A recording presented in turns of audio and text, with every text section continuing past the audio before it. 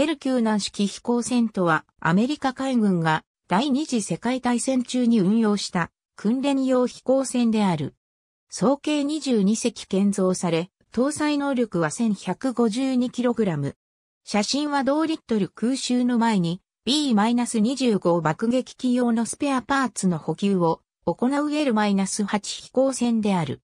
1930年代の中期、グッドイヤー航空機会社では一連の小型にして船体内部に支持構造を持たない飛行船を建造しており、グッドイヤーの社名の宣伝に用いていた。アメリカ海軍は1937年に2種類の飛行船の建造契約を与えた。これらは京急難式飛行船として K-2 の故障を与えられたものと、より小型の宣伝と旅客用に建造されたグッドイヤーの商業用飛行船を元にしたものであった。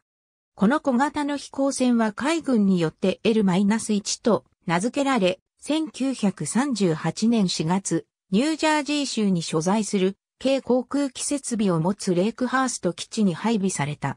また1940年9月25日、海軍はさらに2隻の L 級難式飛行船を発注し、1941年に配備された。L-2 飛行船は1942年6月8日の夜間飛行時に G-1 飛行船と空中衝突を起こし、喪失された。アメリカ合衆国が第二次世界大戦に突入すると、海軍はグッドイヤー航空機会社から5隻の軟式飛行船を徴収した。これらはレゾリュート、エンタープライズ、リライアンス、レインボー、レンジャーという名前だった。それぞれ特徴と性能に差があったが、これらの飛行船は L-4 から L-8 まで故障を与えられた。次の4隻の L 級軟式飛行船はモフェットフィールド海軍航空基地にある修理場と工場で建造された。これら L-9 から L-12 の飛行船は1943年4月に完成した。最後の L 級難式飛行船のロットは1943年2月24日にグッドイヤー社へ建造が発注されたもので、これら10隻の飛行船には L-13 から L-22 の故障が与えられ、1943年末にはすべてが配備された。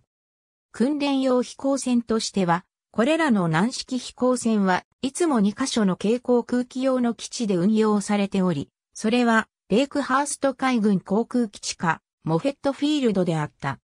広範囲な任務に用いるには小型すぎるため、飛行船はいくつかの沿岸警備任務に投入された。この任務では1942年8月16日、ZP-32 軟式飛行船中隊に所属する L-8 飛行船が太平洋から南サンフランシスコのデイリー市へ漂流し、墜落するという事故が起こった。搭乗員である ED コディ中尉と C アダムズ少尉の両名とも漂流中からすでに行方不明だった。第二次世界大戦の終結に伴い、L 級難式飛行船のうちいくつかは、グッドイヤー航空機会社に返却された。また、民間に売却されたものもある。1943年7月に完成した L-19 は1947年に気嚢を交換し、1951年まで各種試験飛行任務に従事していたが1952年には不要となり稼働しないまま保管されていた。1955年に民間に払い下げられた後、1956年に西ドイツに売却され、広告用途に利用された。西ドイツ時代に再度、機能を交換している。後1968年に再度日本に売却され、飛竜号と名付けられ、やはり広告用途に利用された。これは、キドカラー号として知られる。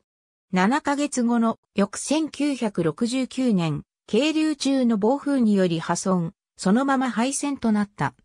エンジンのみが千葉県の公益財団法人航空科学博物館に保存されている。サンフランシスコのビジュアルニュース。ありがとうございます。